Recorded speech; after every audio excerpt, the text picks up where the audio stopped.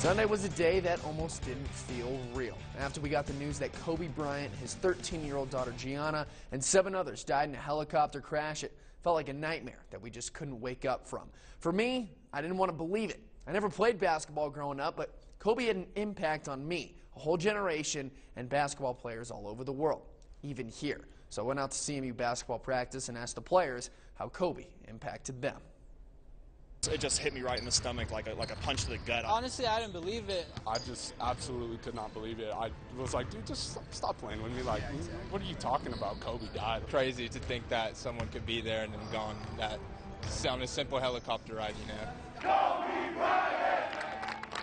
Kobe Bryant! Kobe Bryant may be gone, but even over 800 miles away in Grand Junction, Colorado, his legacy will live on forever.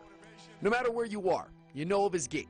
Whether you are a fan of his or he constantly beat your team, you have to respect what he accomplished. Over the years, I went from hating Kobe to honestly loving Kobe. He was our Jordan, you know what I mean? Usually in the GOAT talk, they don't mention Kobe at all. It's usually MJ and LeBron, and I'm just like, Kobe won five rings, bro. Like, you gotta respect him. After influencing the NBA for 20 seasons, Kobe retired in 2016. But his Mamba mentality lives in the heads of almost every basketball player and even athlete. His work ethic is just crazy. Like you hear about, he's in before practice, three hours before getting up shots. I tried to model my game after him growing up, just like I'm pretty sure every other kid tried to, you know. I didn't think practice was that big of a deal, but Kobe kind of changed my mind on that. You know what I mean? Like his work ethic and how he worked to be the best in the league, like that kind of inspired me. I got bunch of Kobe posters in my room, things like that.